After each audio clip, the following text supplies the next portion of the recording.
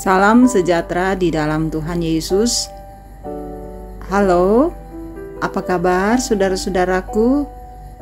Semoga semuanya berada dalam keadaan yang penuh semangat, dalam sukacita Tuhan, dalam keadaan baik, tentu karena kasih sayang Tuhan yang selalu indah dalam kehidupan kita.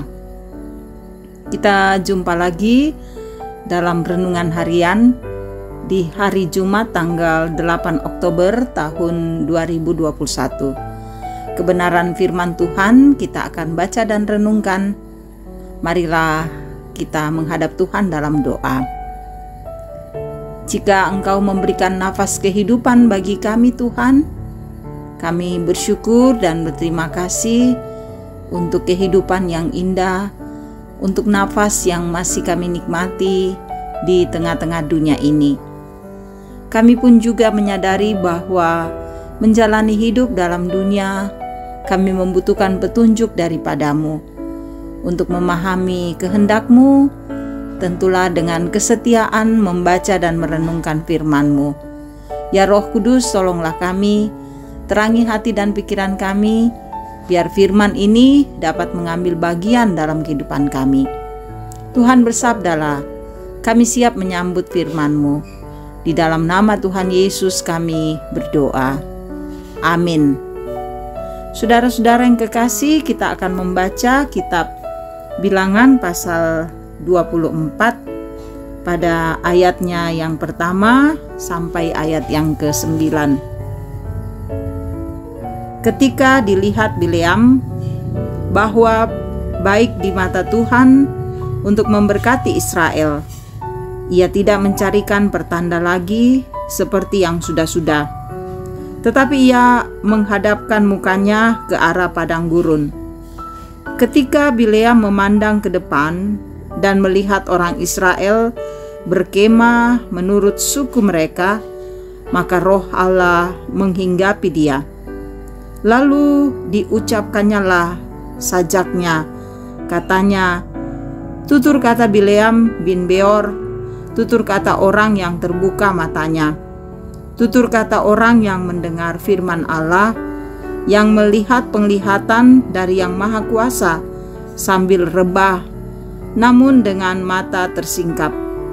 Alangkah indahnya kemah-kemahmu, hai Yakub, dan tempat-tempat kediamanmu, hai Israel sebagai lembah yang membentang semuanya, sebagai taman di tepi sungai, sebagai pohon gaharu yang ditanam Tuhan, sebagai pohon aras di tepi air.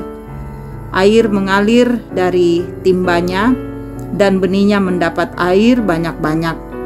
Rajanya akan naik tinggi melebihi Agak, dan kerajaannya akan dimuliakan. Allah yang membawa mereka keluar dari Mesir adalah bagi mereka seperti tanduk kekuatan, lembu hutan. Bangsa-bangsa yang menjadi lawannya akan ditelannya habis, dan tulang-tulang mereka akan dihancurkannya, dan akan ditembaknya tembus dengan panah-panahnya. Ia meniarap dan merebahkan diri sebagai singa jantan dan sebagai singa betina. Siapakah yang berani membangunkannya? Diberkatilah orang yang memberkati engkau, dan terkutuklah orang yang mengutuk engkau. Demikian pembacaan kita pada kesempatan yang berbahagia ini. Haleluya. Amin. Saudara-saudara yang kekasih di dalam Tuhan, tema kita bersikaplah seperti Bileam. Tumananko Susi Bileam. Sahabat-sahabat Kristus, dalam kehidupan sehari-hari kita sering melihat ada orang atau mungkin termasuk orang Kristen yang lebih susah melihat orang yang sukses dan berhasil dan lebih senang melihat orang susah dan menderita. Saudara, Inilah yang terjadi pada Bil Balak, raja orang Moab, yang memanggil Bileam untuk mengutuk orang-orang Israel yang sementara berkemah di daratan Moab. Bahkan saudara, Balak meminta kalaupun Bileam tidak mau mengutuk orang Israel, janganlah ia memberkatinya.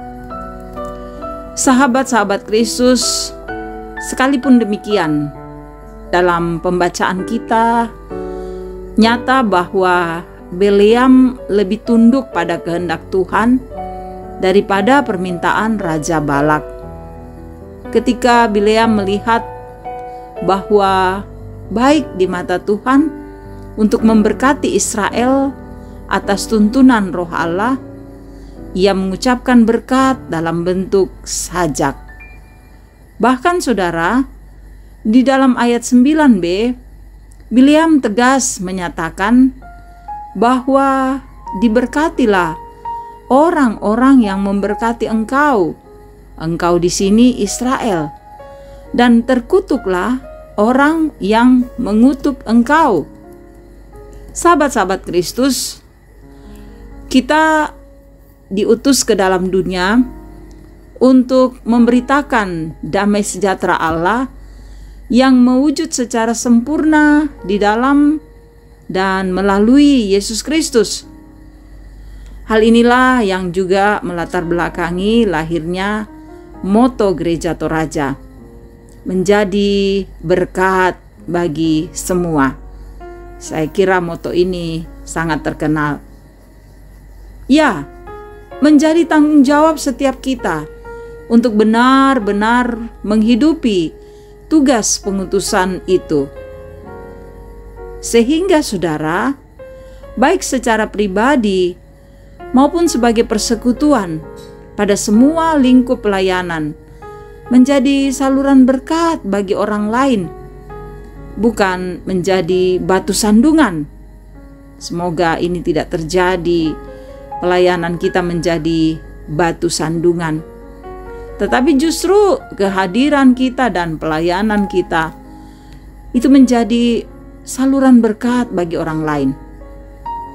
Nah, saudara, ada penggalan lagu di mana dikatakan hidup adalah kesempatan, dan kiranya ini terus menginspirasi kita. Hidup ini adalah kesempatan, hidup ini untuk melayani Tuhan Bila saatnya nanti ku tak berdaya lagi, hidup ini sudah menjadi berkat. Ini penggalan lagu yang menarik sekali. Karena itu, selama Tuhan masih memberi kesempatan bagi kita ada di dalam dunia, baiklah saudara, kita belajar untuk lebih tunduk kepada Tuhan, lebih setia kepada Tuhan, bahwa kita memberkati orang-orang yang terus mengasihi dan juga mau hidup bersama dengan kita. Biarlah kita menjadi berkat untuk siapa pun yang kita temui dalam hidup kita. Kita mengasihi, kita memberkati, kita menopang, melindungi, sehingga hidup ini berarti hidup ini menjadi satu kesempatan untuk mengasihi, melayani Tuhan, dan mengasihi, melayani sesama kita. Amin. Mari satu dalam doa. Kiranya kehidupan yang Engkau beri bagi kami, kami gunakan dengan baik, melayani Engkau Tuhan, mengasihi sesama kami. Dan kami tidak menyanyiakan hidup ini, tapi kami gunakan dengan indah untuk kemuliaan namamu. Biarlah firman ini dapat kami berlakukan dalam hidup kami. Kasihi kami selalu Tuhan. Pekerjaan kami engkau berkati, anak-anak kami, hidup kami. Semoga semua kami jalani dengan tenang dalam damai dan dalam kuasa kasih Kristus. Begitu juga engkau mengasihi saudara-saudara kami, yang dalam berbagai pergumulan hidup, yang sakit Tuhan sembuhkan, yang berduka Tuhan hiburkan, yang mengalami banyak persoalan dan tantangan dalam hidup ini. Hadirlah Engkau beri jalan keluar agar mereka semakin kuat menghadapi hidup ini. Berkati semua pelayan-pelayanmu, para majelis pengurus OIG untuk terus setia melayani Tuhan. Berkati saudara-saudara kami yang setia mendengarkan renungan harian ini. Hidup mereka kiranya terus menikmati anugerah Tuhan dan juga menjadi berkat bagi sesama. Tuhan, ini doa kami, ampuni dosa dan salah kami. Kami bermohon hanya di dalam satu nama, Yesus Kristus. Itulah Tuhan dan Juru Selamat kami yang hidup. Amin. Terima kasih, saudara-saudaraku, sahabat-sahabat Kristus, boleh mendengarkan renungan harian ini. Semoga saudara-saudara menjadi kekuatan bagi kita untuk menghadapi hidup ini, dan biarlah firman ini juga menjadi berkat untuk kita terus berkarya bagi kemuliaan nama Tuhan. Tetap semangat, tetap kuat, dan teguh menghadapi hidup ini. Salam sehat, Tuhan memberkati.